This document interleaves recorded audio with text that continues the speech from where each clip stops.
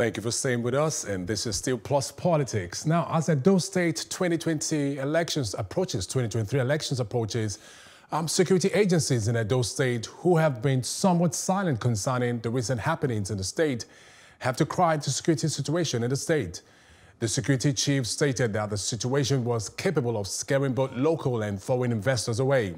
They went further to advise politicians to solve political conflicts so that the security agencies could invest its resources in tackling security challenges. And joining me still to discuss this is political analyst Jibike Oshodi. Thank you for staying with us, Jibike. And also journalist Dipo Olayoku. Thank you, Dipo, for staying with us it's still. a pleasure. Now, now, what is your reaction to all of the recent happenings in Edo State? It, it calls for concern. Um, the Gov, Gov, Governor Godwin Obaseki seems to be um, in a back and forth with the, the All Progressive Chairman, um, former Governor of Edo State, Adam Oshiomhole. All of this development, what, what is your reaction to it? Dipo? Well, you know, the politics is a game of uh, contest, and uh, it becomes more very stiff in Nigeria because it's a very lucrative business. If you look at uh, the constitution of the country, the governor of a state is said to be the chief executive officer. Though the chief security officer aspect of it is not that very pronounced, but it's the chief executive officer. And then you look at how he dispenses favor and patronage without going to the national level at the level of uh, the governor. But let me quickly chip in this because uh, I think it will serve as a lesson to those who believe they can install their boy, boy in quote, as a governor so that they will continue to dish out orders. The examples have shown, we have it in um, Akwa Ibom, where you have Akpabio and uh, Udom. We have it almost across the state. We have Ganduje and Kwankwaso in the north.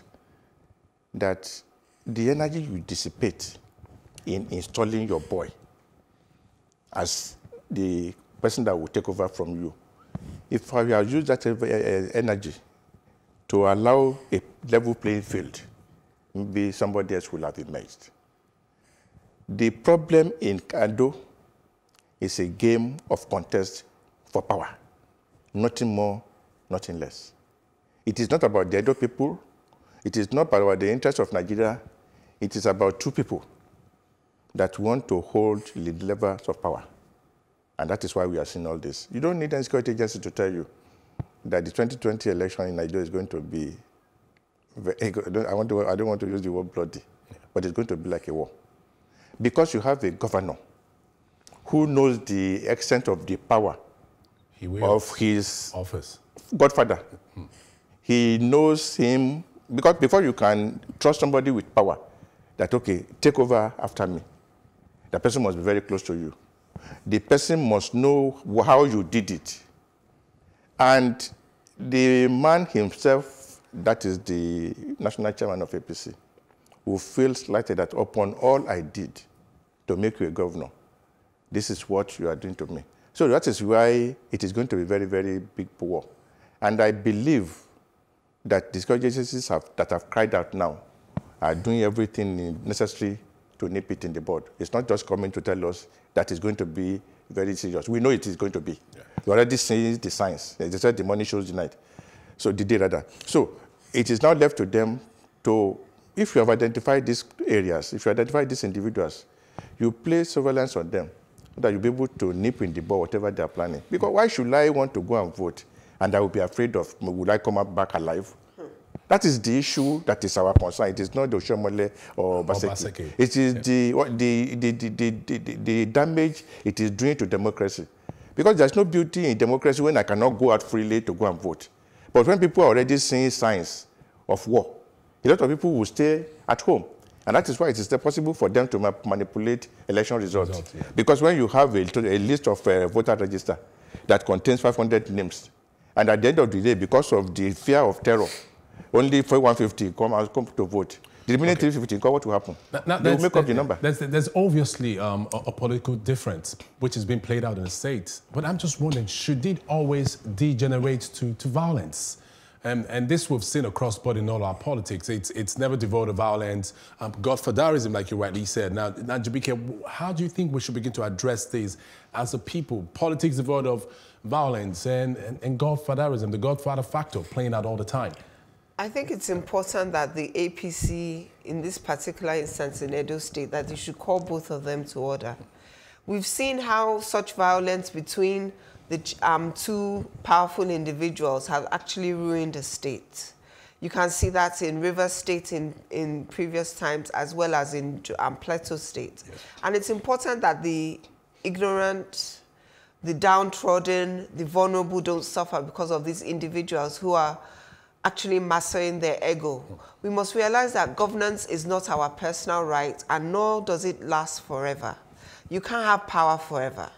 So I think the APC people, APC in this instance in um, Edo State must call these two individuals to order and actually let them make peace.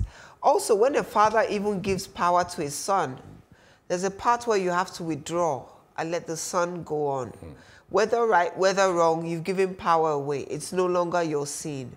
So as individuals, as Nigerians, we must know that governance is not forever. Yes. And actually withdraw and move on to something else. Now, Nadipo, in, in, view of the 2020 governorship election in the state, and with, with all of this happenings, what, what does this portend for Edo State as it stands right now in view of the 2020 governorship election? Nigeria is a peculiar country. And at times, Nigeria defies logic. I remember it was the former military president of Nigeria who said himself he didn't know how the economy of Nigeria was still standing because it had defied to him. If you look at the history of politics in Nigeria, let us take the last election in Ogun State as an example, 2019. You had a governor that contested on the platform of APC as a Senate, to go back to the Senate. And yet he has his boy in another party, APM, and he was campaigning openly for the person. Can you imagine? The same thing happened in uh, Imo State. You have a governor, APC governor, yes. that has taken, got the ticket of APC to go to the, to the Senate, yes. and has his uh, candidate in AA, and campaigning for that person openly. So I, I think it is, if you are think my time politicians will change, nothing will change them. Nothing. There's no appeal. If you know the number of peace meetings that have been held over this Obaseki uh, Oshiomhole food, you know that, that only God can settle that problem. So are, are you thinking the political problem in Edo State as it exists right now cannot be solved? Between those two guys? Yes. Before the election? No way. Except we are deceiving ourselves. So what does this portend for the election? It, it, it, the ball is now in the court of the Edo people. I, I think Nigerian voters should begin to punish Nigerian politicians. Voters, I mean. But unfortunately, majority of the voters don't know their left from the right as far as politics is concerned. We, we have been in the field a lot. Majority of Nigerian politicians are illiterate. Many of them wait on the, until the eve of election. Some eh, they will be asking, who are they say we should vote for? That is the politics we play. That is why one man will be the one that will look all the councillors, all the chairmen of council, all the members of House of Assembly, all the members of National Assembly. One man is the one that will take their name. This one go. This one not go. That is the politics we play. I remember the former governor of uh, Akwa Ibom, uh, Akpabio, when he won election in 2007. And December, he held a what they call a Thanksgiving service it was in the church that he announced that he was expressing his gratitude to them for former President Olusegun Obasanjo. Obasanjo was seated in the church.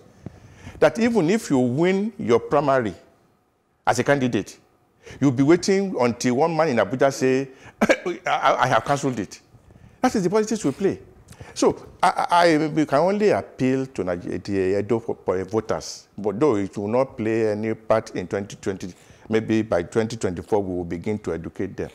Nigerian politicians, Nigerian voters need to come up. And I'm using the opportunity, I always use the opportunity to appeal to our youths because we have them in numbers. If Nigerian youth come together today to say, okay, we are going to be involved in politics, they can determine who is going to be the next president of Nigeria. But what do you see? Every evening, You see our youth. As today is uh, Thursday, or oh, yesterday, by 7 o'clock, you are preparing to watch Madrid and Chelsea. The issue of Nigerian politics doesn't concern our youth. Ask them to name the 11 squad of Chelsea. The Nigerian youth will mention it. Ask him the governor of one state in Nigeria because they are not interested in politics. And if you leave politics to this Yasikira, Baba, Bashiru, they will continue to vote for these old politicians. Okay. So what we should be doing with programs like this is to come up with a new generation of voters that knows their right from their left. Yeah. A, new generation of voters, which, which seems like one of the solutions to, um, to profit to solve the, the myriads of our political problems. Now, in, in, the context of what's going on now in Edo State, what is paramount for the Edo State government to do now with its security agencies just, just to curtail the ongoing violence in view of the governorship election in 2020? Jibike. It's very important that we have surveillance. I'm sure in Edo State, we know some key players as he said, the security agents must know them, the Edo people must know them. They must be held to account. If anybody goes missing, if anybody is murdered between now and 2020, the other party must be able to be accountable for them. And the Edo State people can also do this. Although my brother told me, said that he doesn't believe it can be resolved, what about the APC at national level? What are they doing? Can they put them to order? They have the party structure. They must make sure that there's peace before 2020. All right. Do, do you think that what's happening in Edo State right now is a microcosm of what actually is going on in the APC as, as a national party? No, you, you see, when you have a big party, so to speak, because people of divergent interests, marriage of eh, they, hey, they just come together to say, okay, we want, we have an interest to protect. This individual interest will always be there. And you know the reason why it has become very difficult for APC to resolve this matter? The only organ that can resolve this matter is the NWC of the party. And the national chairman, who is a party to this crisis, yeah. is the head of that NWC. They have constituted a lot of um, peace committees. The other party will say, no, because this man is there, I'm not going to accept that peace committee. They will dissolve the peace committee, set up another one. The other party will say, ah, you have put this man there, I'm not going to accept. So, to them, it's a big problem. But I think our concern, my concern is not even APC or Shomole. My concern is an average Edo person that went through the struggle to go and elect a governor that chose half of his tenure to be fighting a war. Uh, if you think there's going to be any governance between now and 2020 when they hold the election in either October, September in Edo, it's a big lie. Because the man wants to hold on to power. Nobody wants to just do four years and get away, especially if it's your one godfather that says you cannot have it. And then the governor is said to be the chief security officer of the state. Yes. But this is a, have a governor that is fully involved in the shenanigans going on. So there's no way that the other party will allow him to be at the driver's seat. So it is now left to security agencies, if only they will be impartial anyway, to now stand their ground and say, okay, whoever is going to threaten the peace of this state, we will fish them out. But are they not going to be compromised? That is the problem. Oh, and I wish we could go on, but we're out of time. And I just want to say thank you, political analyst Jibike Oshodi, for being part of the show this evening and for your contribution. And also journalist Dipo Olayoku. Thank you very much, sir, for your contribution and for being part of the show. Thank you for staying with us. Our Plus report comes up now, and when we return, I'll be giving you my take. Stay with us. Some lawmakers from the Northeast have called on the federal government to take urgent measures required to bring an end to the continuous killings of civilians by terrorist groups within the region. This followed a motion raised on the floor of the House by Honorable Yusuf Yakub, expressing worry that despite claims by the federal government that the Boko Haram terrorist group has been substantially degraded, attacks within the Northeast on innocent residents and destruction of lives and properties has continued. Other lawmakers called on the Northeast Development Commission to provide urgent relief for many of the victims of the insurgency and tasked the federal government to deploy more troops to the region.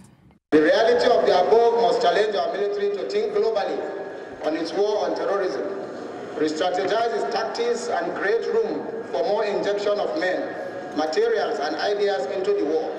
It is saddening to say the least to learn that over 300 insurgents that came on more than 50 motorbikes that had at least two insurgents for each, and another nine truckload of their fighters only met the feeble resistance of a handful of soldiers stationed in Garkida in my constituency last Friday. At the best of times, these soldiers are usually not above 100. The services are out of idea. We thank them, they have done their best. When they came in, they came with strength, they came with vigor, they came with commitment to end this. But now they are full of complacency and they are out of idea completely. We know this and we are aware they are out of idea. So, Mr. Speaker, it's better we do something to save Nigerians or not next time if care is not taken a lot, a lot of honorable members on this floor of the House can tender their resignation because, as far as I'm concerned, I'm not comfortable. My people are dying, and I'm here enjoying. There's no way I can take. I want to amend the prayer slightly while adding my voice to all the speakers because all they have said is the truth. So I want to add that the relief materials that Honorable Buba has so eloquently described to be extended to these people should be extended to the people of Gulde, Askira, Kurungulam in Chibok, and Auno in uh, Borno Central.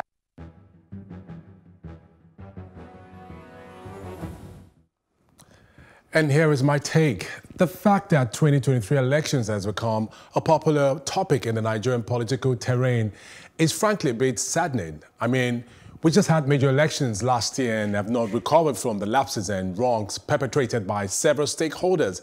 And now 2023 is on the minds and tongues of our leaders. 2020 began barely two months ago, and I ask, between February 2019 and February 2020, what substantial thing has been done to better the lives of Nigerians? Dear leaders, I understand that planning is important, but the results we see in the next three years is going to affect the plans you make out today. So positively or negatively, you have the power to choose that now by your actions. And for the security agencies who are decrying the security situation in Edo State, I ask why?